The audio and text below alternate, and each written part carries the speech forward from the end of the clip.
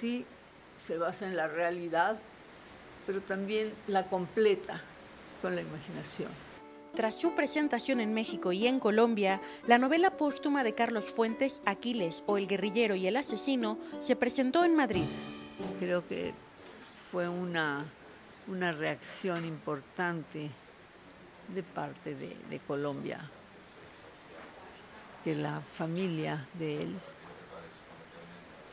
palabras de ellos era que estaban muy agradecidos con Fuentes por haberle dado la importancia y la talla de, una persona que Carlos lo compara en la novela con, con Che Guevara, con Emiliano Zapata. En la librería Juan Rulfo del Fondo de Cultura Económica acompañaron a Silvia Lemus, el editor Julio Ortega y el jurista colombiano Hernando Valencia. También la directora de Alfaguara, Pilar Reyes.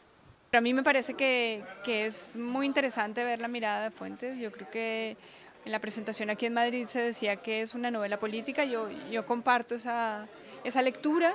Creo que es una novela que analiza un poco o intenta explicar por qué un personaje así, de la clase media, alta, colombiana, decide en un momento dejarlo todo e irse al monte.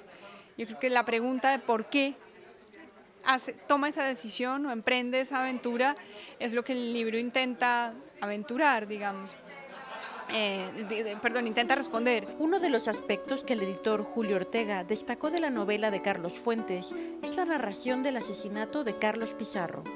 Una vez me dijo, y lo cuento en el prólogo, que no sabía dónde poner el asesinato, si al comienzo, al medio o al final porque el Gabo, en la crónica de la muerte anunciada, había hecho exactamente eso, ¿no? ponerle al comienzo, al medio, desarrollado y al final apoteósicamente.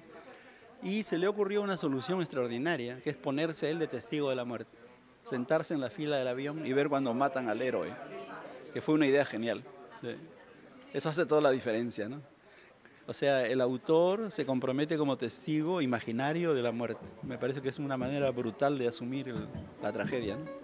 Sobre otras posibles publicaciones de textos inéditos de Carlos Fuentes, Silvia Lemus dijo, Ya no, novelas no.